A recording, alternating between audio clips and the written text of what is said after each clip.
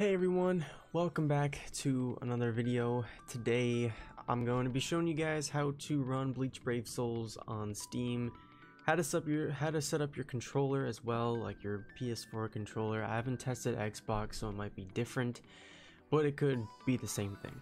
So I'm just gonna tell you guys and show you guys how to start it up, how to set everything up, and how I feel about it. So for starters, this may look very weird right now. Um, I've made a video, but it cut like half of the screen off. I don't know why. So, um, may look a little bit weird, but we're just gonna be focusing on focusing on Steam right here. So, number one, you just want to download Steam if you don't already. If you haven't downloaded Steam, just go to um, Google Chrome, type in Steam download, download it, log in or make an account, and then just go to store type in Bleach Brave Souls and it should just pop up immediately download it and it should pop up right here like this or it'll probably let me see if it'll work.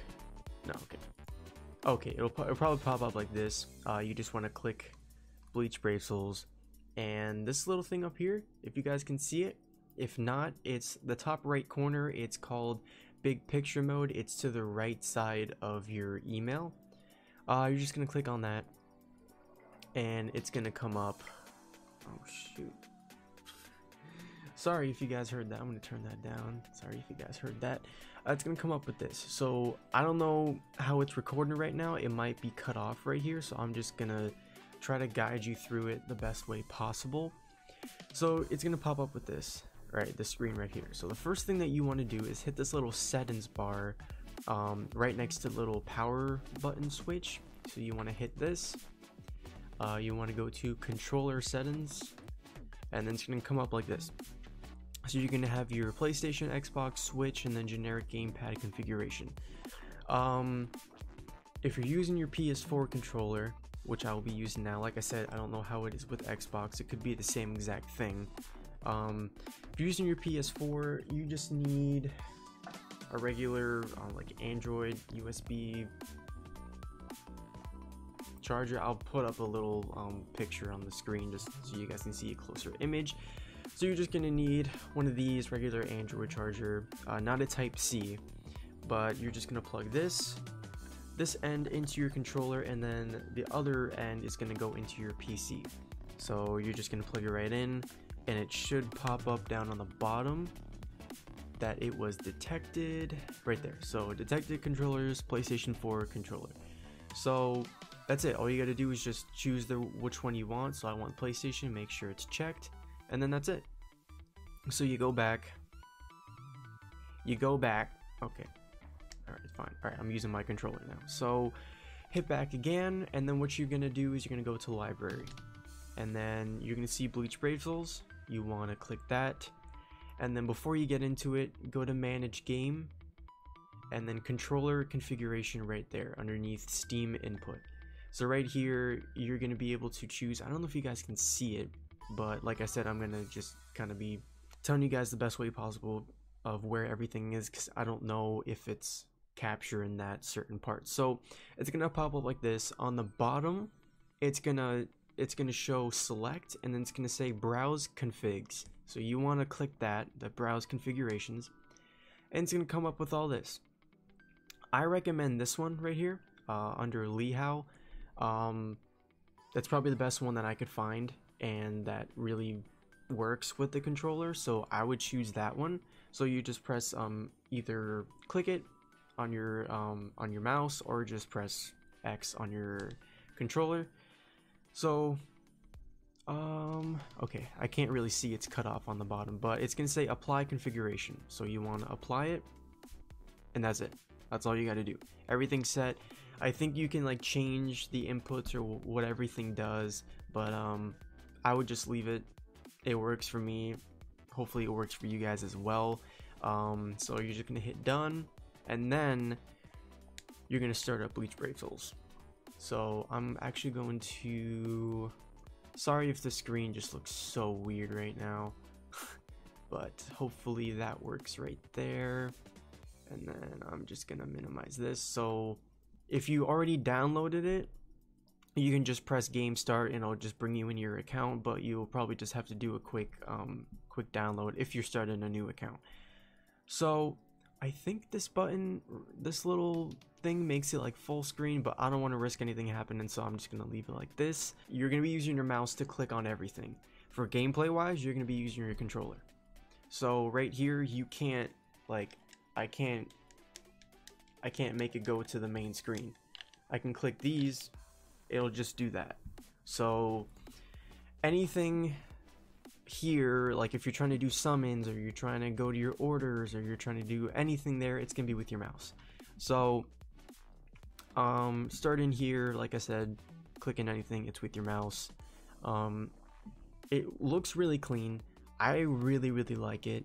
Um, it's not as, you know, user friendly as the phone, uh, not as portable, obviously, but um, it looks really really good. And let's say that you know you want to make your own videos and you have your mic and your webcam but you don't have your Elgato you can just download OBS and do window capture and you can just you know use this. You don't need a $200 Elgato. Like it it helps a lot there's probably some glitches in here and there's some stuff that you can't really do as fluent as the phone but it's still really really cool Let's see if I can do and show you guys how it looks. I'll just, I'll, I'll do a single or something like that. It looks really clean. I mean, from my view of it, it looks really clean, but oh man. I don't know if maybe it's just because it's on a bigger screen and it's just like, ooh, you know, you're used to it on a phone and blah blah blah, but it looks so nice. It looks so, I mean, the outer parts of them are kind of whatever, but that's not a huge deal really clean, really fluent. I like it a lot. We're gonna get into gameplay right now so I can show you guys everything. Um, like I said, you can't really click anything here with your controller. You have to use your mouse. Let's do, let's do this one. It's not gonna be too too hard, but at least I can show you guys everything. All right, so if you are using your um, keyboard the controls that you are going to be using mainly if uh, I don't know if you can kind of configure them yourselves and like you know what what buttons do what and this and that but if you're using your keyboard the keys that you're going to be using the ones that I found is A S D F R 2 and 3 and then the spacebar so the little arrows on your keyboard you can move around like this I'm sorry if you can hear me clicking and everything like that um, you can move around like that. It's not as it's I, I, I don't prefer doing that. You can use your mouse as well to do that. You can also use it to flash step as well. Like that. So A is going to be your first strong attack. S will be your second. D will be your third.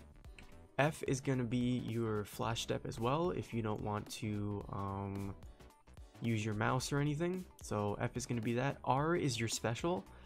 Um, I'm not going to use that right now because I only get one of these. Um, and then let's say that you want Yoruichi. You want to go to Yoruichi, but you don't want to go and click click on her. Just press the number three. Bam. Again, sorry, you're probably hearing my clicking in the microphone. Uh, let's say by some random chance you want to use this Ichigo. Just press number two, and it goes there. You want this Ichigo back? Press three. So that's really, really cool. And the spacebar is your normal attack. So if you're just going, you know, you can kind of just... If you're a PC gamer and you're using the keyboard and mouse, this will be like, this will be nothing to you guys. This will be very easy. For those of you who are like, what the heck, like this is to take some time to get used to, that's why you got the controller. So, the controller. Um, you're just to be using this to move around and I feel like the controller is much easier. But you're just gonna be using this to just move around. Um, these do something, but I wouldn't really focus on them because you have everything in such a short, like you have this to move around. These are your attacks and this is your flash step. So what is that? R1 is your flash step, which will be this this one right here, R1. R1 is going to be flash step. Um, R2 is going to be your special. So you hit R2, and if you want to skip it, R2 again. By the way, that looked really, really clean. Um, L2 is to pause it, press L2 again to unpause it. So flash step, you get to move around and everything. So X is going to be your normal attack. I think it's A on Xbox if I'm correct. Um, A is your normal attack. Um, square is going to be your first.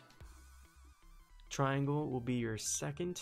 And then obviously um, O is going to be your third. It looks really, really clean on here. And honestly, it'll, it'll definitely take some time to get used to. I don't really think that, you know, I mean, maybe people will be able to do um, Senkaimon on it and stuff like that, but it'll definitely take some time to get used to.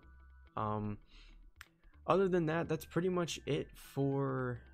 Actually, I want to see if I can. Okay, so if you're trying to skip, you're trying to skip the uh, uh, little monologue thing, whatever you want to call it, you have to use the mouse. But uh, I'm pretty sure you can tinker with that and do something like controller. Yeah, I mean, the controller makes it a lot easier. In my opinion, it's a lot easier than the, the keyboard and mouse. But, um, yeah, you pretty much have to use your mouse with anything else on here. Which is not a big deal.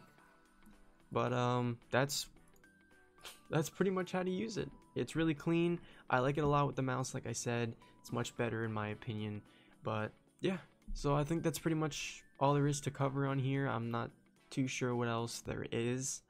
Um, if there is something I missed, please let me know down below.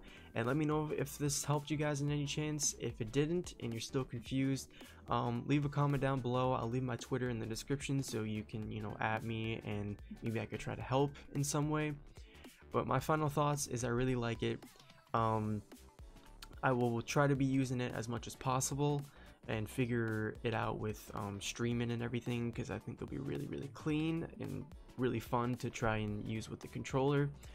Um, but I still prefer the phone better obviously because it's you know you can bring it around anywhere and everywhere. So I really like it.